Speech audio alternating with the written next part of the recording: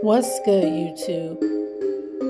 Check out what Tekashi 69's ex girlfriend Jade had to say about DJ Akademiks and 6 9 This is wild, y'all. Check this out.